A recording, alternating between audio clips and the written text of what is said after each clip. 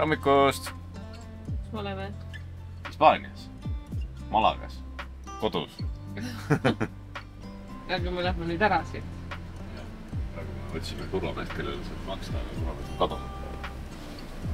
Sergei kirjutas, et hello, I will telephone him. aga nendel on telefon ju. aga nad ütlevad ju, et I will call him ju, nad ei ütle nagu, nagu jama ju, mitte ja, ja, jamar. ma, ma telefonin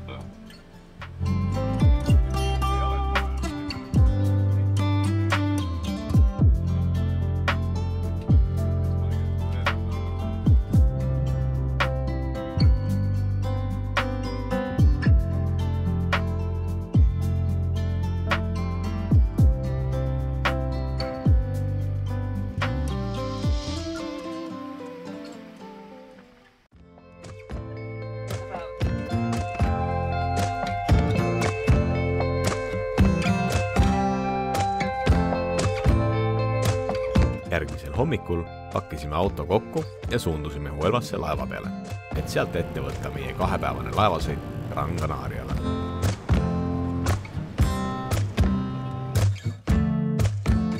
Malagast Huelvasse on umbes kolme poole tunni autosõit.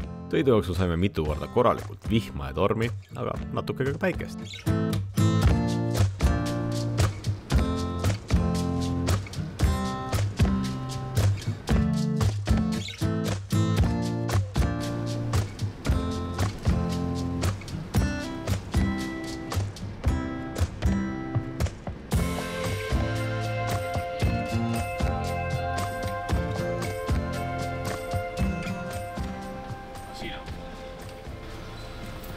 Gracias.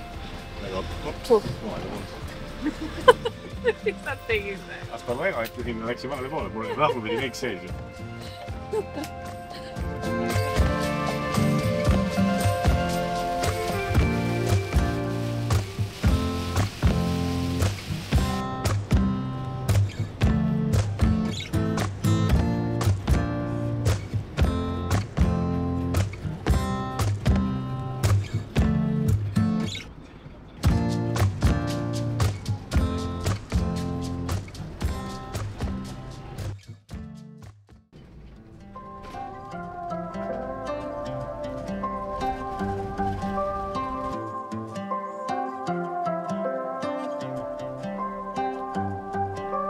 õhtuks jõudsime Huelva sadamasse, kust väljus laev Las Palmas de Gran Canariale. valisime seekord laevaks Fred Olseni, ainsa laeva, millele saime kolme nädala jooksul pileti.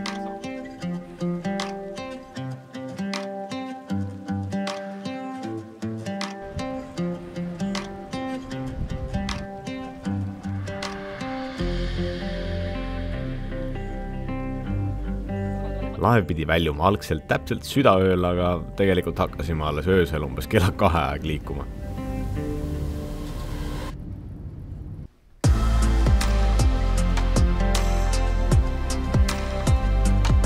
null null kuus, null null neli, meie kaart on siin. siin. nii, siis selle koodiga peaks lahti saama. tegi vist? tegin.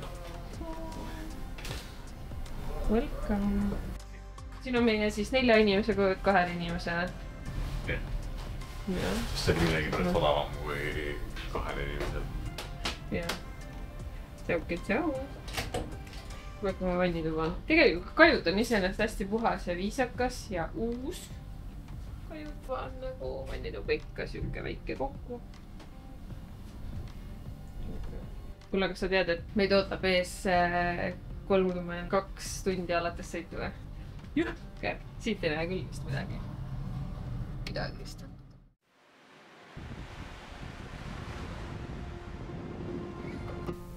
tere päevast. kuidas öö läks? mul küll läks hästi, küll läks äh,, no mitte nii hästi. räägi uuesti. mida? tegelikult mul on olnud äh, päris äh, halb olla.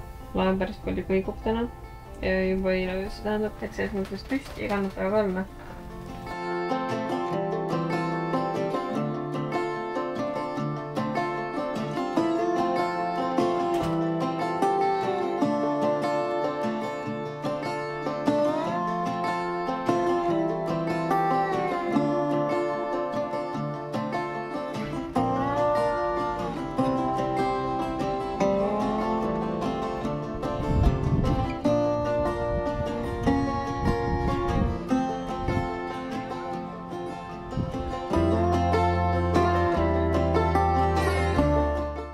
Kaheteistkümnenda detsembri varahommikuks jõudsime lõpuks Gran Canariale. meri oli seekord üsna tormine ja kuna tegemist oli tunduvalt väiksema laevaga kui näiteks Helsingi-Tallinna vahel sõitvad laevad, siis kõikumist oli korralikult.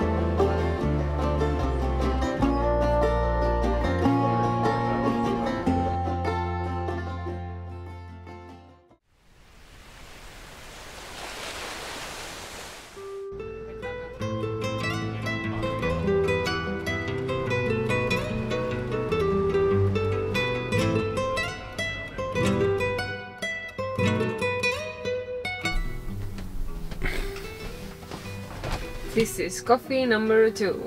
kohvi number two. kas ma tahtsin ka kohvi number two'd? nii, mis meie plaanid on siis? tänane, tänane plaan on äh, minna kõigepealt poodi, siis me peame ära käima täitmas äh, oma vee, tühjendamas ka võib-olla nii-öelda igapäevased toimetused. siis hakkame autot kaunistama jõulukaunistustega ja ja jõulud tulevad, kaunistus on vaja alla võtta kost- kastist. inimesed on kõik lühikestes riietes. on või? imelik on. päriselt on lühikestes? hispaanlased ka või? no enne jah, üks tuli vastu, tuli mingi siukse, siukse jopiga, aga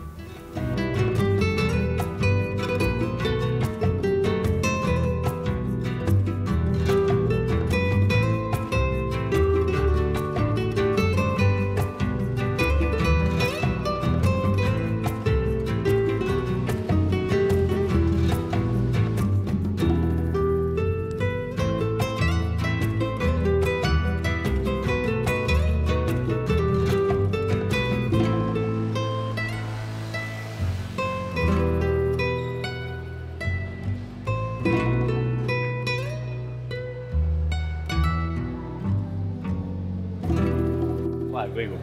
laev käigub. me, see, need on need kõrvalnähud, mis, mis on peale kolmekümne tundi laevasõitu. et laev kõigub. et oled mandril, aga ikka kõigub.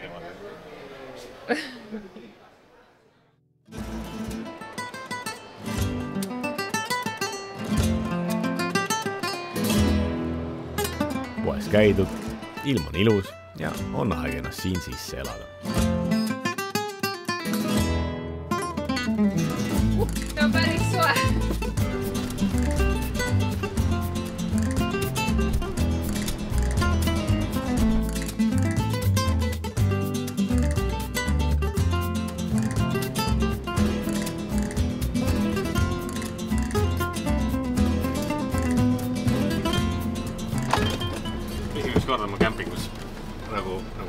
tean, et kõikides kämpingutes räägivad nad inglise keelt.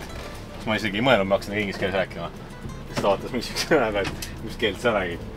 me räägime hispaania keelt ma ütlesin, okei okay,, räägime hispaania keelt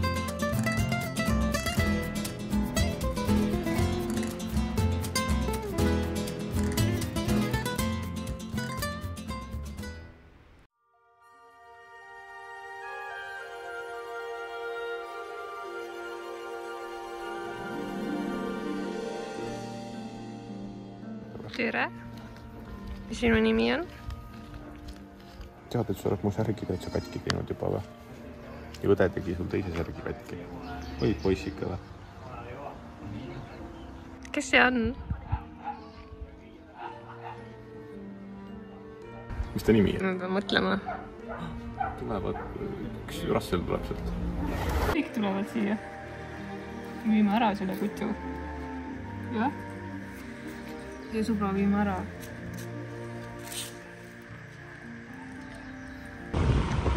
viisime korra järgi ära. aga meie rattalauks kuumenes üle. vaata, võtmed on kodus. käime tagasi, ei saa, peame kastist sõitma tagasi koos rattaga. meie auto ei ole. värske.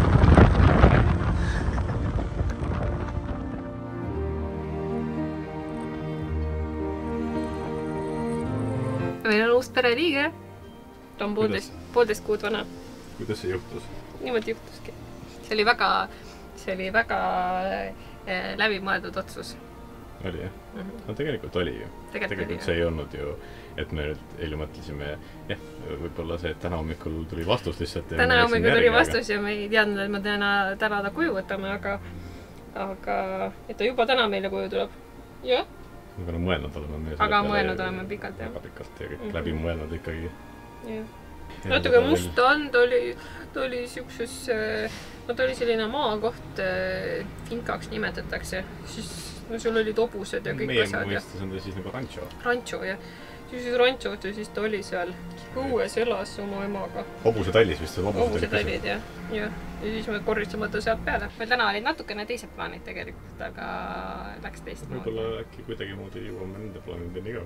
ma arvan, et äkki juhtub jah. jah, on jah, lähme metsa. Lähme metsa või? jah, näeme. lähme.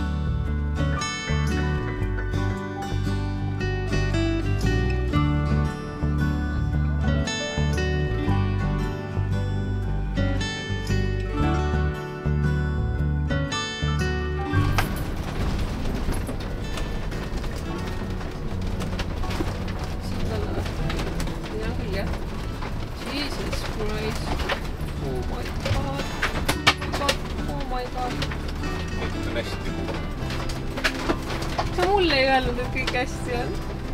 aa, okei, kus see? Oh my god. kus siin tühjendada täita saab?